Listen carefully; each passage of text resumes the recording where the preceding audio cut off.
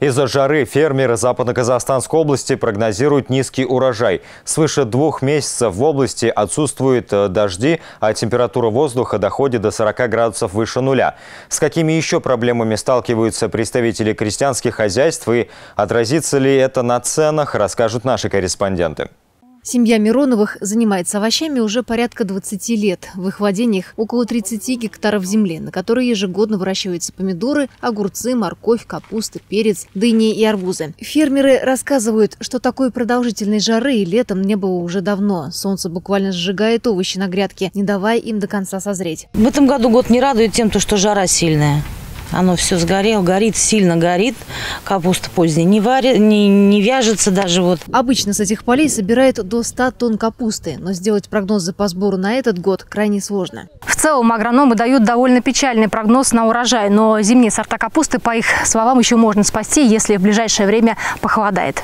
Помидоры же собрать удается и сегодня. Ежедневно до трех тонн томатов отправляют на местный рынок. Но со сбытом у представителей КХ возникают проблемы. Тем более в те дни, когда из-за карантина ограничена торговля. Проблема у нас с оптовым рынком.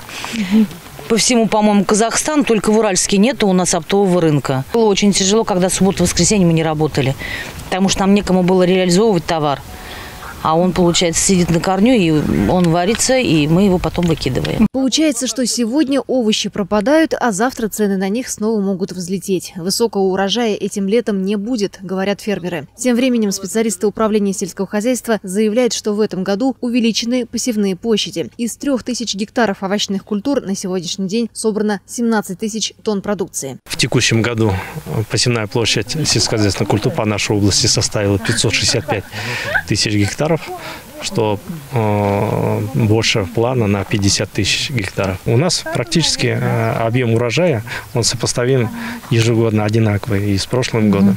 Э, и цен, на цены влияют э, совсем другие факторы. Цена на продукцию действительно складывается из ряда факторов, но низкая урожайность явно станет одной из причин очередного повышения стоимости овощей. Марина Горбук, Нурлан Кунашев, Рустам Джумашев, ТДК-42.